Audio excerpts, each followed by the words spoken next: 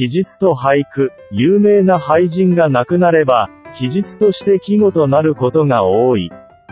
四季記や巨来記、高式、創上記などいくらでもある。また俳人だけでなく歌人、小説家もしかりである。成開き、カッパ記、露伴記、冒頭記など色々とある。だが、文人だけで本当にいいのであろうか。俳人には理工科系の方々も多いのである。そういう方々は自分の分野の有名人も呼んでみたいと思うのではなかろうか。野口秀夫の、秀夫の木、流川秀樹の、秀樹の木などがあっても良いであろう。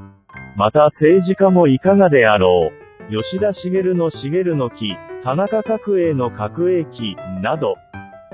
また経済の方では本田総一郎の総一郎記、軍人では山本五十六の五十六記など、いかがであろう。スポーツ界ではオリンピックで銅メダルを取った後、自殺した円谷幸吉はどうであろう。雪道を長靴履いて角栄記、宗太郎。